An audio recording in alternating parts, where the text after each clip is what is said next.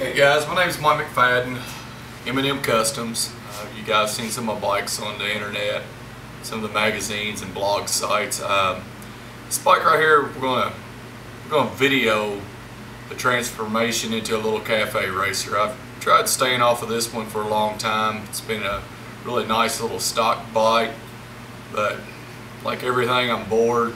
I can't leave it alone, so I've decided to do a few little mods to it. I'm not going to do anything real major, um, you know, as far as cutting the frame in half or anything like that, because I like to keep this bike pretty close to uh, what it was. Um, I've already taken the rear fender off of the bike and labeled the wires, you know, that were, you know, for the tail lights and the blinkers, and trust me, that is super important for doing this type of thing on these older bikes because the wiring on them is it's a little bit different what we have nowadays on uh, some of the motorcycles and stuff.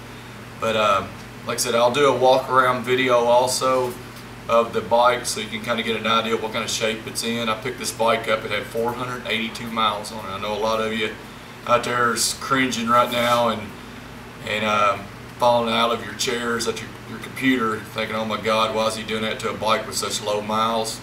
Um, like I said, I'm to try keeping it pretty close to stock so I can take it back to that form if I ever want to do that. But, uh, you know, some things change too right in the middle of the process. I might decide to make it into a chopper, who knows.